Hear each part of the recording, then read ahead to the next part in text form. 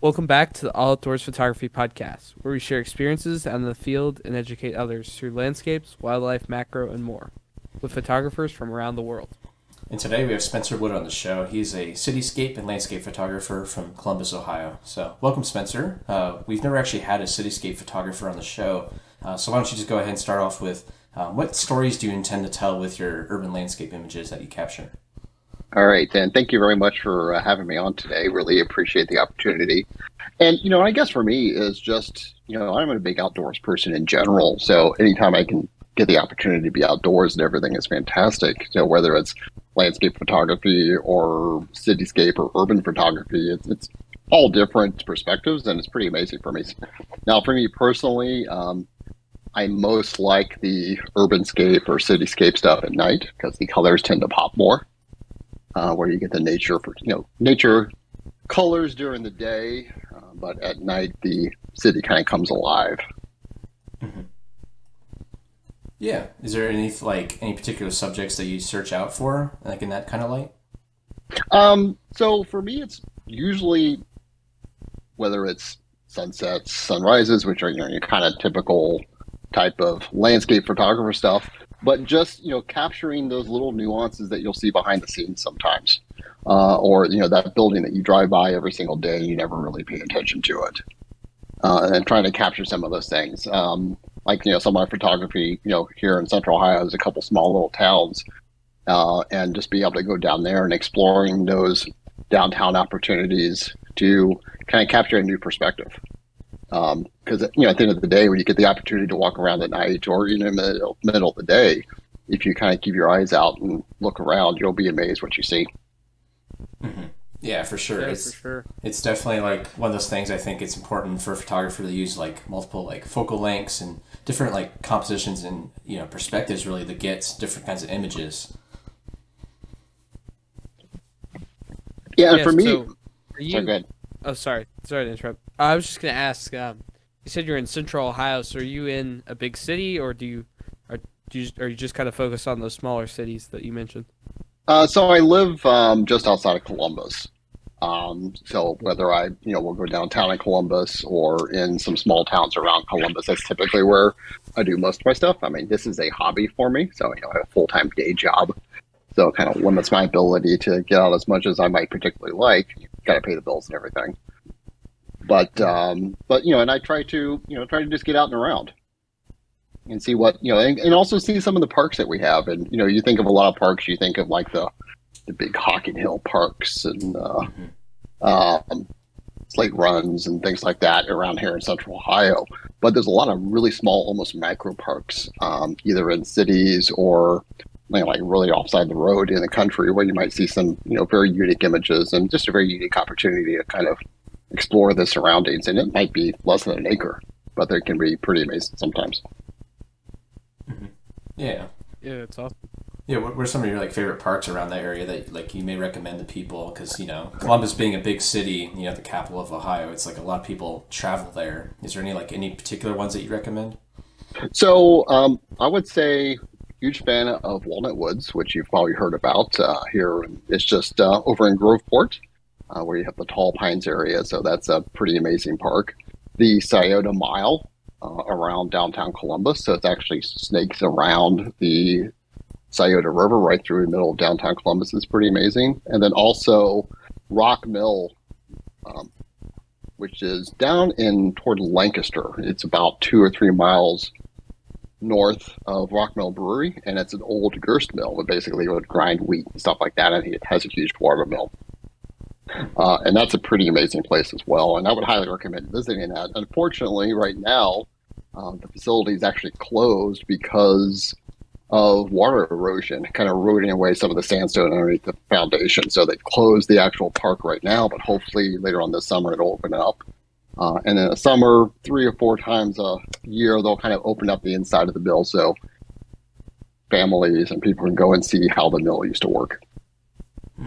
Yeah, that's really cool how like parks can incorporate the local history and stuff from the past. I think it's really neat. You know, just coupling that with nature, of course, too. Yeah. Yeah, and I would say, and also if you haven't been to, or any of your listeners haven't been to Slate Run, they have a uh, historical farm down here just south of uh, Canal Winchester, and and it has a slight, it's a historical farm from the mid 1800s. Um, so you'll see draft horses and you know literally farming as if it was done back in the 1800s. Hmm. Wow. It's a really great opportunity. Yeah, that's, that's awesome. Yeah, I've only been to I think in the I'm from Dayton by the way, but um, in the Columbus area, I've been to like Battelle Darby, like cycling through, and it was quite stunning to be up on those hilltops, just like right over the woodland and everything. Yeah, we're actually really lucky here in Central Ohio with the number of metro parks that we have, and a lot of people don't realize that metro parks will actually go all the way down uh, to Hocking County, which is where um, Hocking Hills State Park is at, but just adjacent to that, there'll be some metro parks down there, some metro parks in Pickaway County, Franklin County, a little bit of Delaware. It's actually a pretty nice, uh, pretty amazing park system. We're, like I said, very lucky to have it. Yeah, definitely. Have you been to the Audubon Center? That's like just outside of Columbus. Because that's yes, that is that yeah. is a great place. Yeah, yeah, some good boardwalk and stuff out there. That, that's a beautiful place. Yeah, and the nature center really is. is great. Mm-hmm. Yeah, that's awesome. Yeah. Do you have any? Do you focus mainly on Columbus in terms of like photographing cityscapes, or do you have like other cities that you may capture there too? Um, I would say Columbus, uh, Canal Winchester, um, kind of those like, canals in one of those smaller towns, but those are probably my two major focuses. More just because of location um, and the fact that this is a hobby and not a full time full time job for me. Right. Yeah, that makes sense. But it's cool because you get to like yeah. capture them in sunrise and sunset and in different light, and you know get to go back to different compositions and try them again and just see how they all interact too. Yeah, absolutely. And probably one of my favorite compositions now is really kind of getting down incredibly low. Uh, and you know whether it's you know like you know photographing a set of train tracks literally at the base of the train tracks. Um, or there was one that I did, it was actually last year, um, where, you know, all those toadstools that you see when mushrooms grow up in your yard uh, in the early spring was actually able to take one and it was just with my iPhone of all things and just shoot straight up, right up into the sky uh, and kind of saw the top, the bottom of the mushroom from below. So kind of giving those wow. unique perspectives. I was just gonna ask for for some of the beginners in the audience, Spencer. Uh, you want to explain real quick, like kind of the effect that produces by getting low with your subject? So for me, it's you know just looking at something through a completely different angle uh, and a different perspective. So when, you, you're getting low, it completely changes the composition. So I know I uploaded some of the pictures, which I think you guys will be sharing here. But you know the one of the toadstool and looking straight up, you know, it kind of has the sky in focus. But what I was trying to do with that composition was literally to get the details of under that mushroom toadstool and the little veins and the little little fine details and that thing, but also kind of showing the perspective of you're looking up, you're tall because this thing is standing incredibly tall. Um, and then there's another one with the train tracks at the sunset, where you know it's down on the track and it's kind of like taking you out into the horizon. Because I think sometimes when you get down low, it changes that perspective and that composition of those rails going literally into the sunset. And if you're you know standing at five foot, six foot, um, it just it's a totally different look and feel. So I would recommend anyone just get down low, try it. If it doesn't work out, that's fine. Try it again later, and, and find that right composition where it's really going to kind of help uh, help things pop. I think it's you know getting low is something that kind of different, like you said, differentiates it from the normal perspective. Um, you know the common, um, just everyday, you know maybe walker around through the city or whatnot. So, are there any other techniques like that you'll use to kind of make your images like stand out, like from a, just a maybe an iPhone image or just a normal perspective? Well, I would say you know not only looking from down, you know, getting down low and looking up, but also kind of the opposite, getting from above and looking down.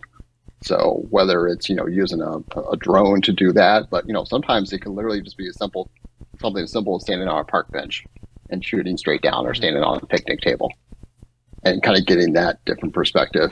Or then also using some of those, you know, foreground elements and kind of bring them more into focus and make them more of the highlight of the composition.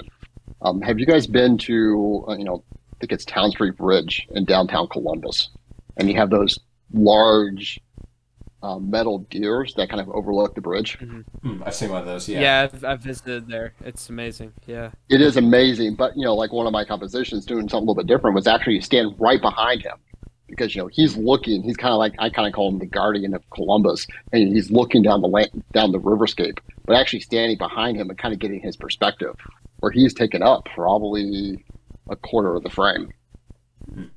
Do you shoot that with like wide angle lens to accentuate that, since it's in the like I guess the foreground in this case? So that one, my go-to lens is um, a 17 to 75 that I have, and I'm sorry, 17 to 50. My apologies. Um, and that's my go-to lens, and I think that one was actually shot at 17, just to try to get that wider angle. Yeah, it definitely works because you're, of course, incorporating the, the landscape behind it, which is the city too. So it kind of shows where the subject, in this case, the deer, is you know looking out towards. Yeah, and I think it's really important, you know, and again, we all get in ruts and things like that, is, is to try something different. So, you know, I grew up on a farm. I like spending as much time outside as humanly possible. So, you know, my, you know, my happy place is in a park, uh, out in nature somewhere, but shooting something like, you know, cityscapes is, you know, it's a completely different perspective and it kind of helps hone your craft. Um, because, you know, I wouldn't have seen other compositions in nature if I wasn't trying to find those type of compositions in the city.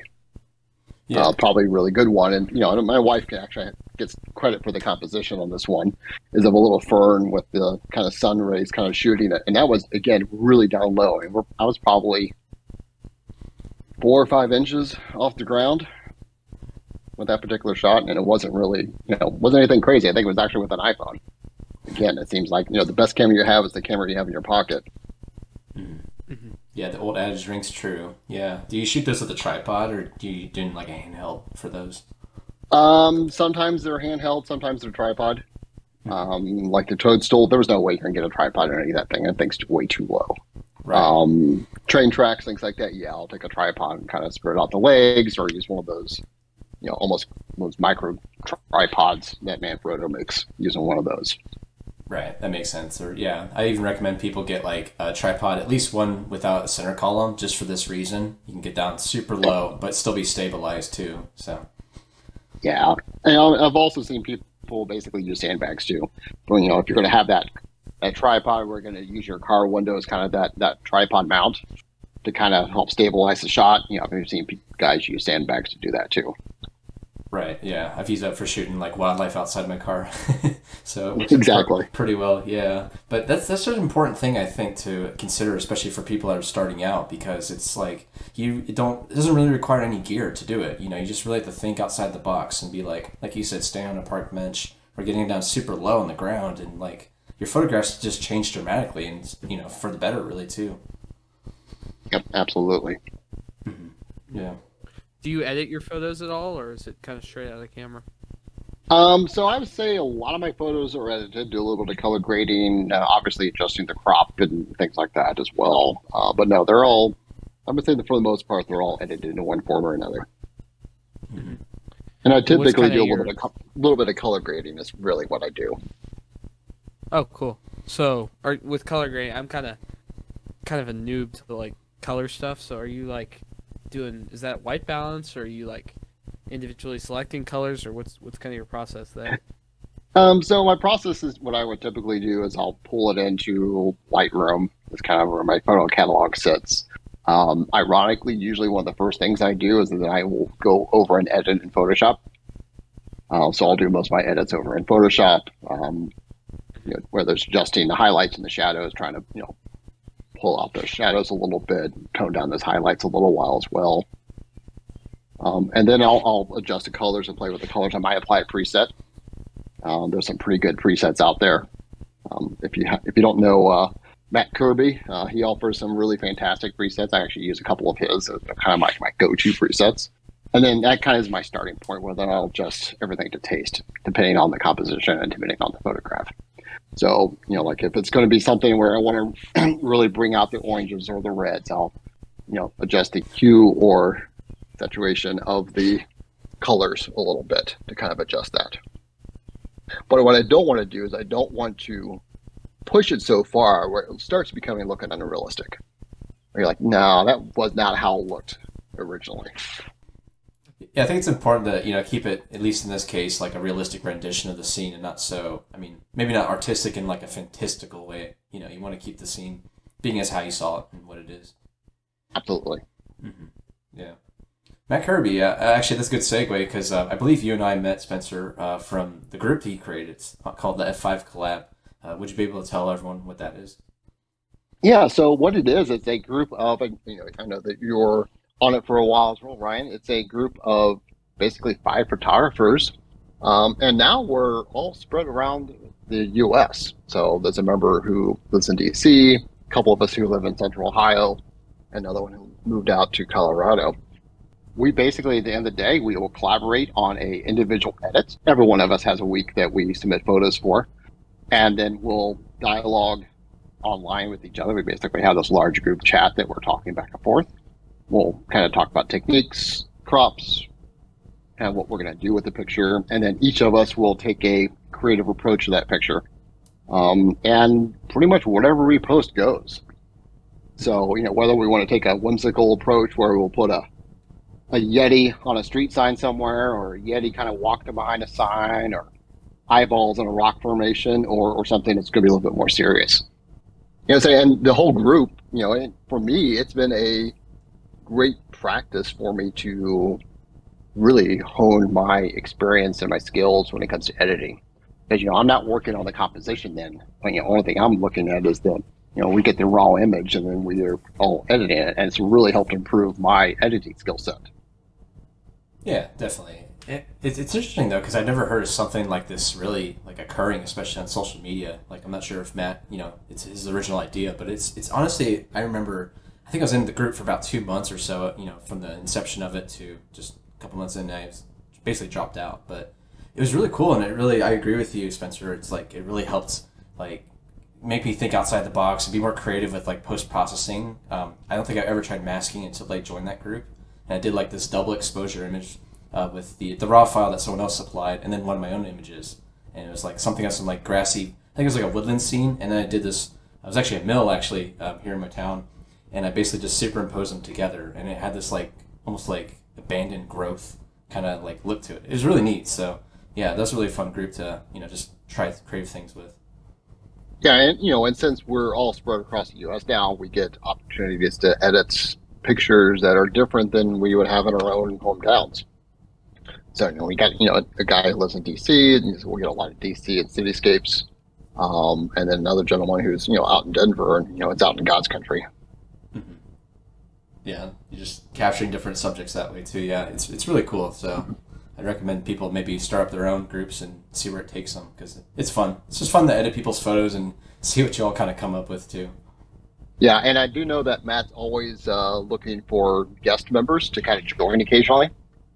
Mm-hmm. So if anyone's uh, interested, definitely hit up uh, Matt Kirby, and he can uh, we'll get you into the rotation somehow. Yeah, for sure. Yeah, we'll leave yeah, uh, maybe some links down below. Yeah, I think that that's super cool, Spencer. It's a it's a super unique idea. Um, this is kind of a random question here. What is the what's kind of the weirdest edit you've come up with in that group? I know you mentioned the Yeti. Maybe it's that or anything else. What's kind of the weirdest edit you've been able to experiment with with that collab? Probably for me, it has been things like the Yeti. So the Yeti was a little bit unique and different. Um, and ironically, yeah. yeah. a little bit. It was it was a fun one, and also some sky replacement, which is something ironically I just haven't done that much of because you know I'm not a huge fan of sky replacement because sometimes you go, yeah, really, no, that mm-hmm. wasn't there. Mm-hmm. Um, but again, by you know kind of doing this and being more purposeful, like okay, I do want to do a sky replacement because that particular sky is you know a little a little flat. Uh, it's helped improve again my editing skills because now I can you know help match the foreground to the sky replacement background that I'm superimposing in. Yeah, and it's yeah, like that's awesome. if someone supplies like a really let's say well I mean most raw files by nature are pretty bland at first, but in terms of like color, but like if you do have like a blank gray sky and like you want to give yourself the challenge, you could be like I'm going to replace that sky to look like a beautiful sunset or whatever, and uh, yeah, know, just challenges yourself in that way too. Yeah, and there was one that I, and it was actually my photo that I submitted uh, of one of the train stations um, in Canal Winchester. and we actually, you know, again, we all did something different. I was actually able to pull that into Photoshop and do uh, basically made it look like an old vintage photograph. Biplanes at different layers, some masking, dodging and burning, and able to actually, I mean, it looks like a old photograph with tears and rips and and dirt and things like that on, and that was that was a fun edit. Yeah, definitely. It's like on the inverse of doing realistic edits of like your own photography. It's kind of fun every now and then to do this stuff that's more like the Yeti or something, just like out there and wild. But you know, it's just fun. You know, that's that's how it should be Yep. at the end of the day. Yeah. So Spencer, you, uh, I know you said you don't do photography full time per se, but you do have some stock photography and print sales available on your website. Uh, what's what's been your experiences with those? Uh, I would say they've been kind of okay. Nothing really fantastic or anything. But again, you know, this is a hobby for me, so I put it out there just more as to try different things out.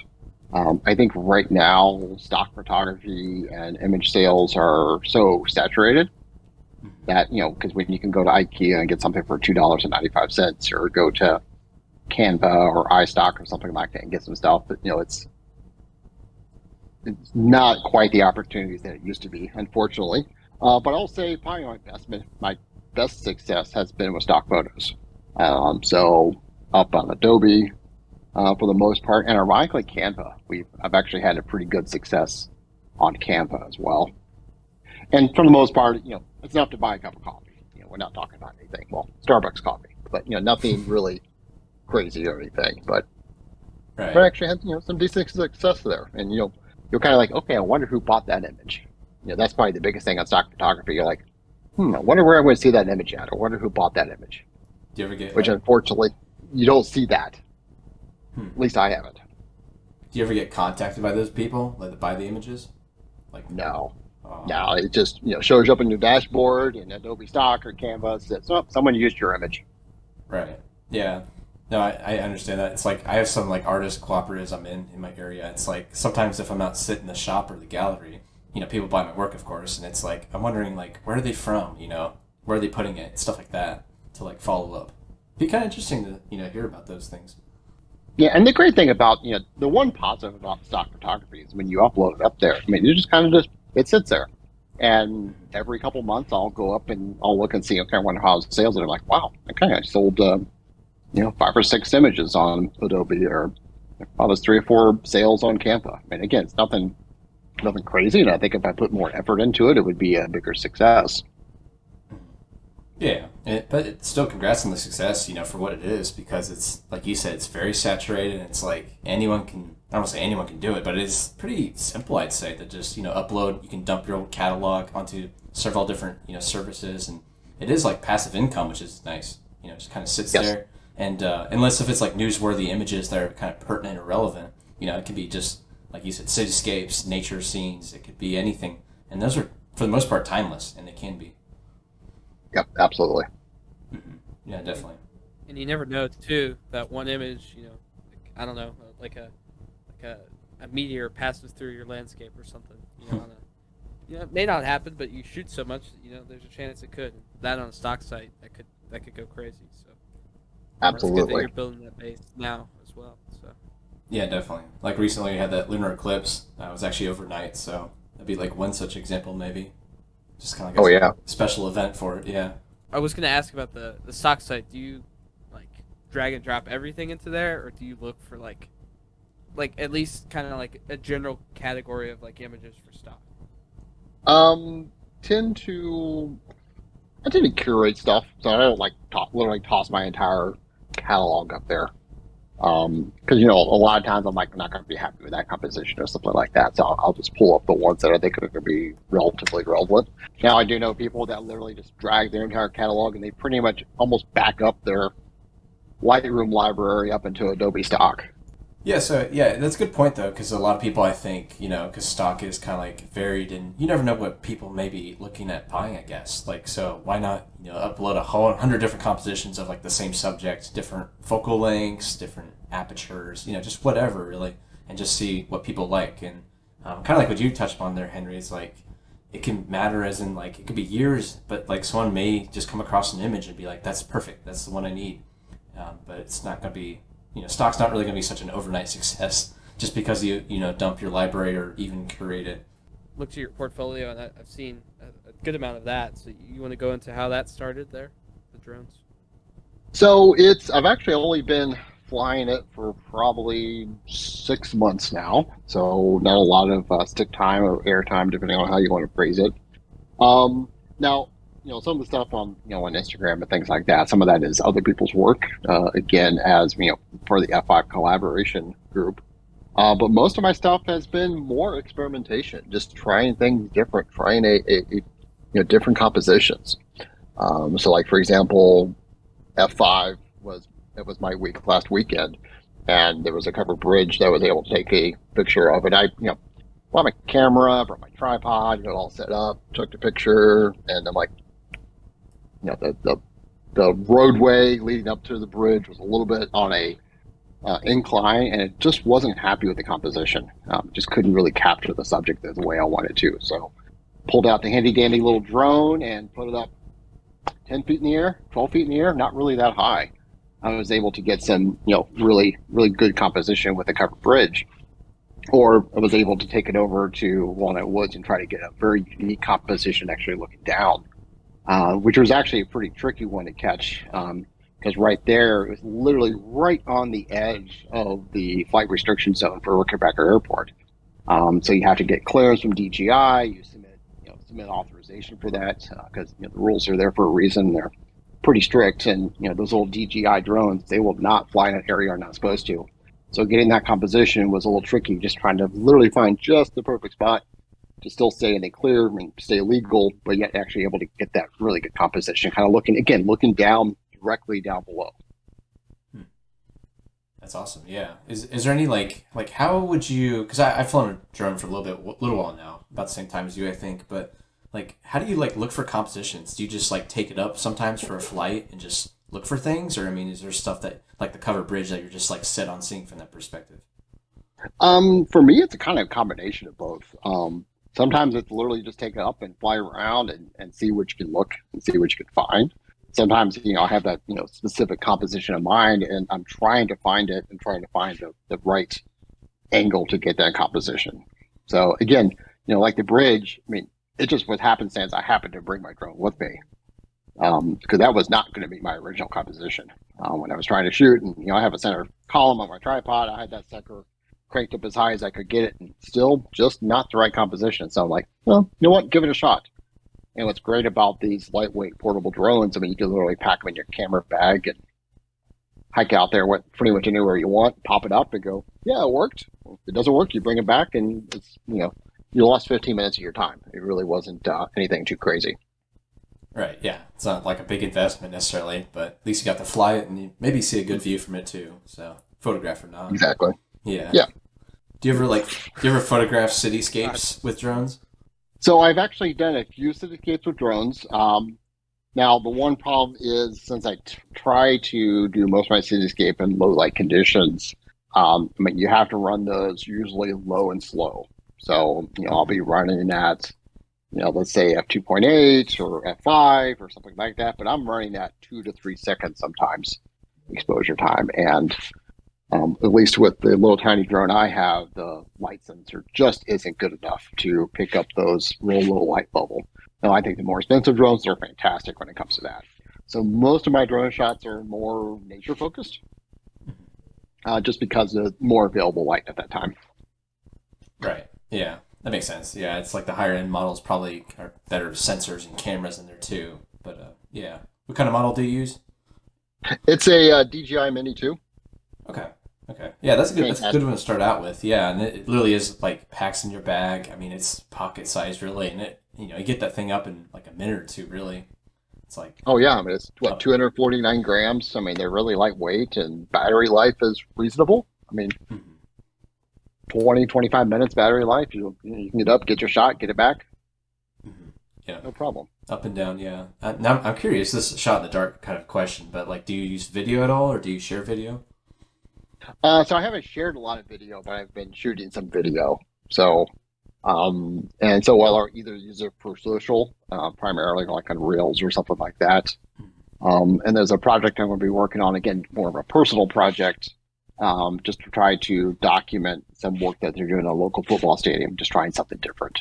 Again, toss it up, get a different perspective. As they're working with a place in the field, kind of do a shoot every single day, see how it comes out. Have you found any challenges kind of switching from video to photo? Not switching. Oh, yeah. You know, kind of adding that on. Yeah, I, I would say for me, it's probably more kind of engaging my brain to think more uh, along the video sides versus photography. Because again, photography, at least for me, you know, like long exposures, slow, kind of slow things down. Or video, you're not slowing things down. It just is what it is.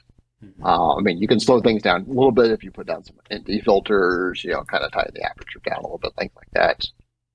Um, but it's you know it is it is challenging for me to kind of switch over from uh, photos to video. Yeah, I And I think it's just a matter of experience. Just need some more experience on it. Yeah, that's yeah, perfectly understandable. It's like there's a lot of variables, like I mean, exposure and composition that are pretty much go hand in hand. But it is like, how do I convey in motion? You know, what's the scene in front of me? Because it's obviously different from a still photograph.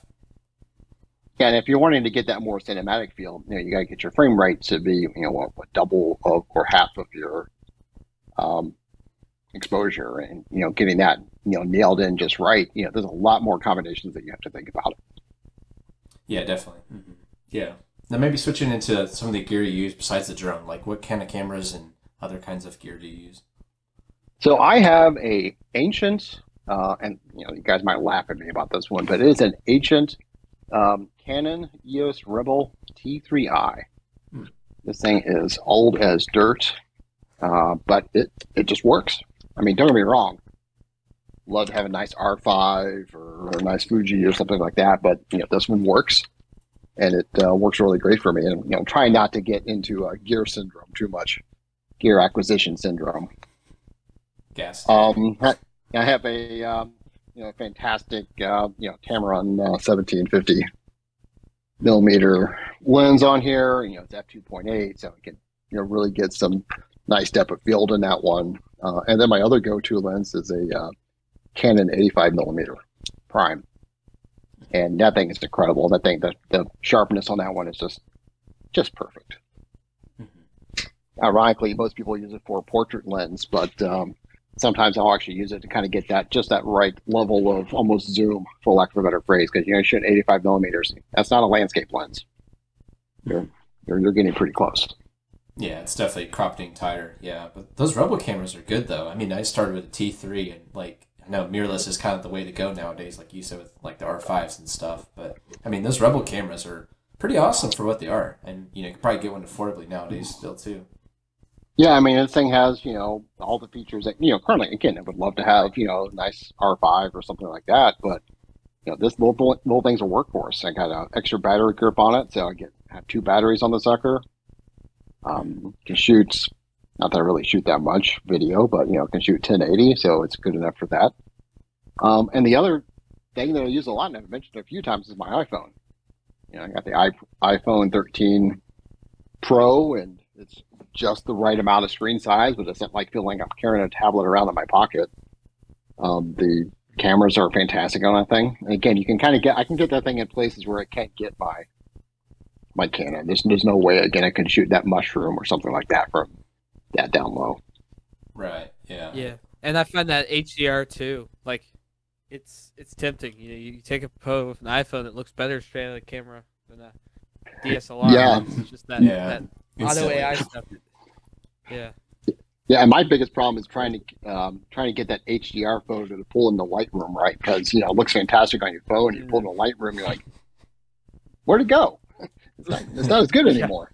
Right.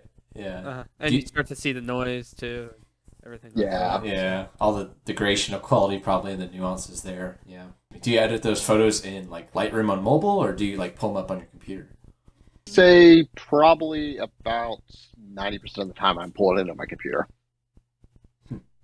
and I have a an, an iMac um, 27 inch, so you know you got that nice 5K display. So I'll just airdrop it to my computer, pull it up, see right there, kind of do the edits. Um, I've dabbled a little bit with Lightroom uh, on the computer, but if I want to do really quick edits, and you know I'm not going to be too picky with masking and things like that, I just want to like you know pull up the highlights or drop down the highlights or bump up the shadows or blacks or something like that. I'll, I'll just do it right in the iPhone photo app and just edit it right in there. Just to do a really quick edit. You know, you might be able to get a little bit of a vignette if you want to to kind of do a little bit dodge and burning around the corners to kind of focus on the the middle of the image a little bit, kind of draw people's eyes in there. But most of my edits I'm doing either in Lightroom or in Photoshop on my computer. Yeah, it's interesting how you keep things kind of like simple with workflow there. Yeah, I mean, you're just basically doing like the basic adjustments and stuff like that. It's nothing that's too heavy handed, at least. But have you ever tried lots of masking before and like those kind of more intensive tools? Yeah, if there's the right the right image that I'm really wanting to pull out the masking, I will. But for most part, at least for my for my taste and my style, I really don't do a lot of masking. Um, now, what I will do is depending on the the photograph or the composition is I'll try to remove a lot of the distorting items. So there might be a lot of uh, distracting items in the picture. I'll actually try to remove some of those, right. just to kind of you know, kind of simplify the image a little bit. Um, and again, Photoshop has some fantastic tools for that, and Lightroom too. Both of them do. Mm-hmm. That's like the clone stamp tool, right? Clone stamp tool, or just the brush, uh, or sometimes it'll I'll highlight the area and say content aware fill. Right, right. Yeah. Yeah, that works pretty well sometimes. I mean, it's it's definitely not guaranteed, but you know that that can be super powerful. Mm-hmm. It really is. It really is. Yeah, it's definitely a smart tool. you can even, I've never I've never done this myself, but you can even like you know if you're maybe cut off a wing of a bird, you can just you know make a pixel, you know, drag oh. up your file, make a like a blank pixels and then content aware, aware fill that. I've seen people do that. Yep. I've never done it myself, but mm-hmm. pretty powerful for sure. Yeah, it's amazing what the tools can do these days. And you can really stretch them pretty far. So after you've you've edited an image, um, what's kind of what do you do next? Do you instantly post that to Instagram? Do you do you wait a while? Do you put it right on a stock site? Like kind of what's what's your post post editing workflow there?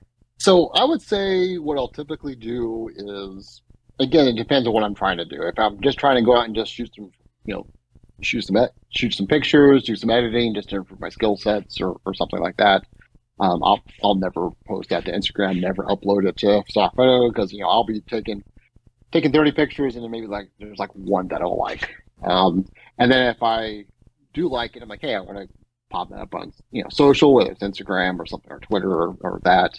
Uh, I'll actually use the business console inside of Facebook, of all things. Um, it's Facebook Business Console, which connects up to Instagram. And then what I'll do is I'll upload it in there, and then it'll tell me based on my followers and, and my content when's the best time to post that picture to Instagram or post that reel or video to Instagram.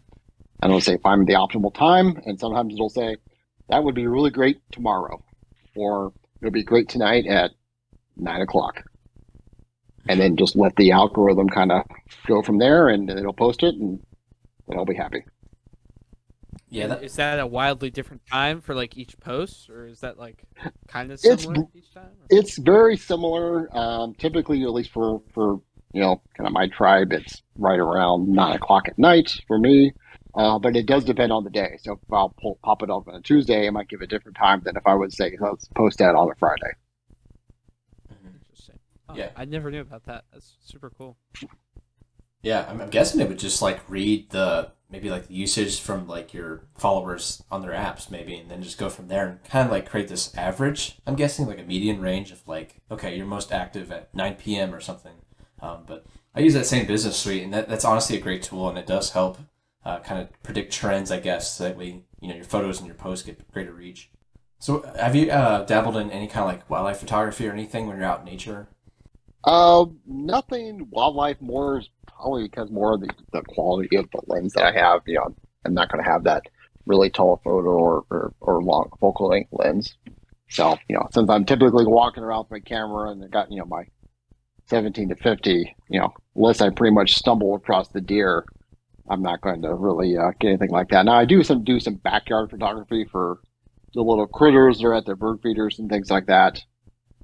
Uh, what I need to do is set up a little blind or something back there because shooting through a window just doesn't cut it.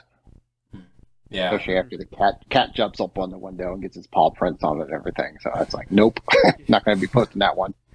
Right. It's it cute, but no. makes the images probably a lot softer too, and it's maybe a little bit harder to focus. Maybe just that extra layer of glass. that's quite literally in your way, but uh, yeah, I totally understand that. But yeah, I mean, using a blind though is pretty great. I think. Have you used a blind, Henry? I know I have a few times in my backyard. I tried. I just have terrible patience. I understand that. Yeah. yeah, that's understandable, but it's it's worth trying out. You know, if that's something you ever want to get more into, I guess. But you know, for what's Yeah, worth. even if it's just even if it's just a simple blind, you know, just a, something really simple just to kind of shield me, and we could probably get you know because we got squirrels, we got a fair number of birds in the backyard, some chipmunks, rabbits, those kind of things. So Do you have any, um, you know, maybe new genres or new kind of projects? You're, I know you mentioned that stadium project, but anything else you're kind of working on in the next couple months of your photography? I would say probably the other thing is plan on doing some uh, pretty good hiking uh, through some of the other trails and, and parks that I haven't visited here in Columbus. So probably documenting some of those. Uh, wife and I we keep on talking about doing a trip as well. So depending on where we go for kind of a, a trip, either the summer or in the fall. Uh, looking forward to whatever that might be, so we can uh, I'll go out and take some pictures while I'm out doing wherever that might be at. Any Get some fall color in there. Yeah, absolutely. yeah, that sounds good. Yeah. Is there any particular locations you're looking at? Um, so I know California's on the list. Uh, Northern California is just spectacular. It's just absolutely beautiful, especially the further up the coast you get past San Francisco. Get up a couple hours, just absolutely incredible. Um, we've talked about a couple international locations. Maybe we're a lot of those are still up in the air right now. Um, Smoky Mountains, fantastic national park. I think those are probably yeah. Those are the those are the short list items right now. Yeah, that's great. If you if you want to try some wildlife at Smoky Mountains, um, Cataloochee Valley, the elk come you know really close. You can still be safe and be on the road, but you, even with you know maybe even your 85 millimeter, you could get some nice shots of the elk with uh, fall color. Um, Oh, it's- nice. It's pretty much a guarantee every night. So if you if you end up going there, um, you know, just send me a message. I can I can give you all the cool spots and the details. So. Yeah, fantastic. No, appreciate that. That sounds great. So do you go to like locations like that with like an open book, like no agenda, or do you like thoroughly plan them out? Like I'm gonna hike these trails, or I'm gonna see this subject. Like, what's your process there? For me, for the most part, it's a hey, I'm gonna go check out this park. I'm gonna bring my camera and see what I find. Uh, you know, occasionally I'll you know be on the park's website and I'll, okay, well, that looks like that would be a pretty nice composition, um, things like that. But for me, it's just about exploring. Just kind of take the camera and, and run and see what uh, see what I happen to stumble upon. Right. Yeah. Just like throw out the map, metaphorically speaking. But yeah, that's that's a good way to go about it. I think because it, like, if you look at too many images online of other people's, whether they're like professional or not, like it kind of distorts your view a little bit. And it's like it's nice to just kind of drop yourself in that setting, like a new unfamiliar place, and just see where it, it really takes you. Yeah, and even just going, you know, even when you're in the city and walking around, you know, I'll just like, hey, I'm going to go shoot some, you know, some sunrise pictures in Columbus in the morning, and I don't necessarily. I mean, I'll have some general locations. I'll try down by the river, or I'll try by the state house, or something like that. But that's usually about the extent of it. Um, and then sometimes, I mean, we were driving down to Cincinnati area the other day, and I mean, I wish I would have had my camera and I would have been thinking fast enough and pulled up my phone if nothing else. But you know, those there was a couple trees on those farm fields uh, down on 71, and the way the fog and the mist was covering them, like that would have just been the best composition. Uh, unfortunately, again, no camera. Um, but you know, just discovering those type of features that you wouldn't, you know, everyday life. You just walk right by sometimes. Right. Yeah. Just the ever growing list of like compositions and maybe try out in the future, even you know stuff to kind of work towards. Absolutely. You think you'll ever go back to that location, or Oh, you know, like absolutely. you ever go back to compositions you find? Oh yeah, so like there've been a couple parks that I'll be to, and I'm like, okay, you know what, this would be really fantastic, and you know, in the morning or you know, a golden hour in the evening. So let, I'll try to work on that composition when I come back, um, and, and try to get that better shot. uh, Walnut Woods, you know, some fantastic park area, and there's some kind of like off the beaten path trails, and you know, we'll kind of discover it and go, oh yeah, I'm coming back tonight to try to get that, you know, to get that shot, or I'll try to come back in a couple weeks, or you know, like you said, you'll be like, okay, this place will be amazing in the fall. It's great, yeah, because it like Yeah, that's especially cool. with staying local like that to your local parks, it like it helps familiarize yourself with them throughout all the seasons too, and that way you can look at like a landscape scene in front of you and go like, that's gonna look great in like peak fall color and just different stuff like that. Yeah, and I would even say, you know, sometimes you know people think, well, those are the going to be amazing colors in the winter, or these fantastic sunrises, you know, with all this color. You know, something I've dabbled in is, you know, kind of again, kind of change that perspective and going more, you know, shooting, obviously shooting color because it's DSLR, but shooting, you know, intentional for those pictures to be in black and white or in grayscale. You know, because sometimes doing that in the winter, you know, kind of has a very has a different feeling to it. Yeah, definitely. Yeah, how often do you like convert those to black and white? Would you say for your photography? I'd say 15, 20%. It's a good amount. Yeah. Well, some people Yeah, shoot actually- exclusively. go ahead. Yeah, and I've been, you know, kind of playing around with, you know, changing my workflow a little bit. I don't, I don't know if it's going to stick or not, but, you know, when I start editing a photo, you know, basically take those saturation sliders and drag them all the way to the left and just basically turn that into a grayscale image. Mm-hmm. Work on the, you know, work on the highlights, the, the, the brightness, the, you know, kind of the blacks and you know kind of the, make that image really pop and then bring back the color one channel at a time hmm. Yeah, that's an interesting way to go about it. Actually, yeah, I never really considered that. and I don't, think- you know it doesn't work in every picture sometimes i'm like nope not going to do that again delete start over What, what images do you find like are better suited for that? i would say a lot of them where there's a lot of contrast Okay. between the subjects um, so that you know contrast between foreground and background or sometimes when the background will have a a, a, a distracting element in it that you kind of want to remove that element but not going so far as to take the clone stamp or to literally remove the element just to kind of de-emphasize that so taking that bright green element that your eyes are going to kind of go straight to and just kind of toning that down dropping the brightness of that Mhm. to really kind of focus the viewer's attention on the subject that you're trying to capture. Yeah, yeah. No two images should be necessarily edited like the same way because each one kind of lends its strengths to different things you could try out when post processing. Awesome. Yeah. So as we wrap up the episode here, Spencer, uh, I just want to ask one more question. Uh, how would you describe in a few words what photography means to you? For me, it is almost an escape. So I'm a, I'd like to call myself a recovering IT professional. So, you know, I work with technology every day. And for me, getting photography, it's, you know, about going out, getting some exercise, getting some fresh air, walking around, and just doing something different, doing something on that creative side of things. Because, you know, when you're doing things, I mean, not that technology isn't creative and can't be creative, but, you know, kind of working that side of my brain in, in a more methodical, purpo- purposeful way so that I can kind of, you know, get a different perspective on life, get a different perspective on things. Yeah, teaches you about yourself and about the world around you and all that stuff too. So yeah, that's awesome. So thanks for coming on tonight, Spencer. Um, where are some of the best places for people to find you? Um, look at your work? So, yeah, so there's a couple different places you can find me. So one is on Instagram, so it's uh, at uh, S P E N C W O O D, so Spence Wood. Um, you can also find me on Twitter as well, uh, or you can also uh, find me on my website at spencerthephotographer.com. Awesome. Thank you, Spencer Awesome. Wood. It's been a pleasure. Thank you. Really appreciate the opportunity, gentlemen.